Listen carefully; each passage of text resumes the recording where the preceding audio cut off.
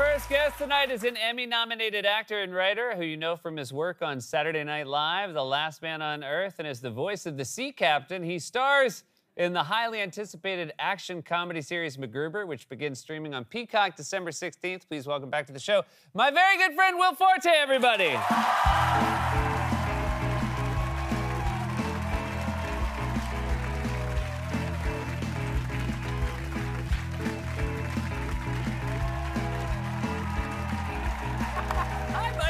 Hi, how are you? Good. How have you recovered? Are you doing all right? I, I went to the corner bistro Uh-huh. after that and got a delicious burger.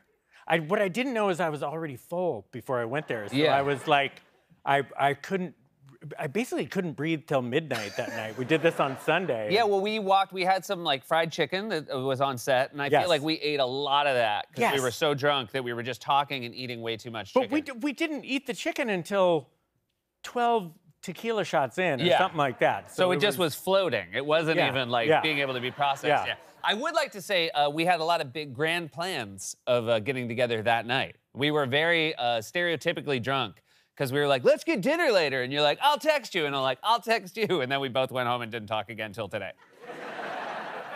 But I thought about you the whole time. I did too.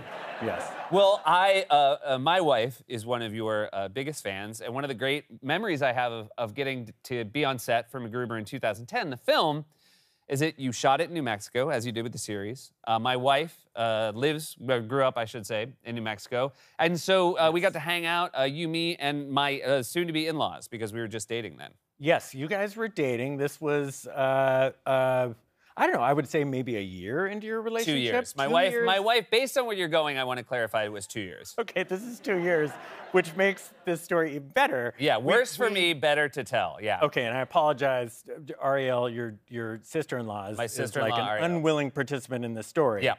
Uh, back back in the day, I was a single man. Yeah. And uh, Ariel was a single woman, and Yeah. so we had we had one night gone to your in-laws, your in-laws to be house, and we all had a little tequila. That was another you know tequila night, and and and you know we had a little.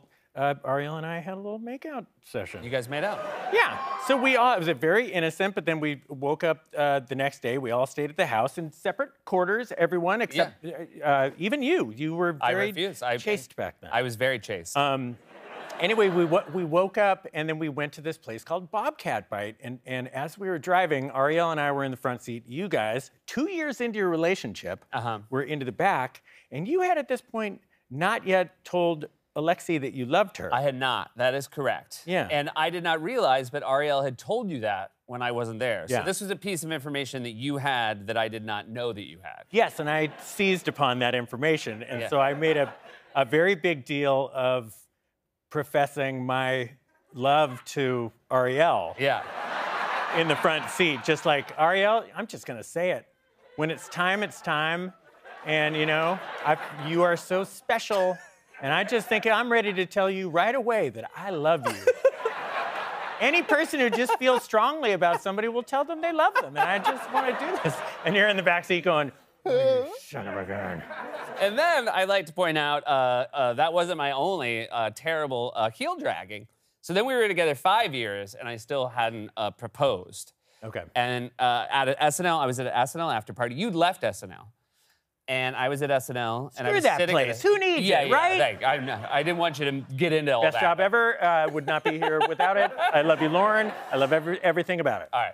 So I'm at a table at the after party with Alexi and Ariel again. Yeah. And you walk in. I didn't even know you were coming. You see us beeline over, take a knee, I forgot this. take a knee to Ariel, and you're like, I want to say something that I have waited way too long to say.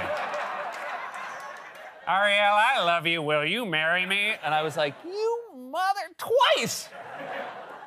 Well, you're married now with three kids, With three kids, yeah. And I'd like to think that I have a little uh, p- uh, part part of that action. That's a weird way to say that. You do have a part of that action. yeah, that's it's, it's all about action to me and being a part of the action. You're either a part of the action or you're not. Yeah. You, uh, this is so exciting. Uh, so this was a sketch, a beloved sketch, uh, that became a movie that um, I think we can be honest about the fact that is beloved now. People who've discovered the film in the last 10 years. Thank you for saying that. Yeah. Uh, yeah. We all know. It was not, but it was not uh, beloved at the time, or was maybe maybe you know maybe the people who saw it liked it. But, I think they did, but But it- definitely not a lot of people saw it. We can agree on that. I think we sure. can, yes. Let's just drill down and say, like, box office wise, it did not set the world on fire. the bed. Just like, I mean, the bed was at the end of that was more than bed.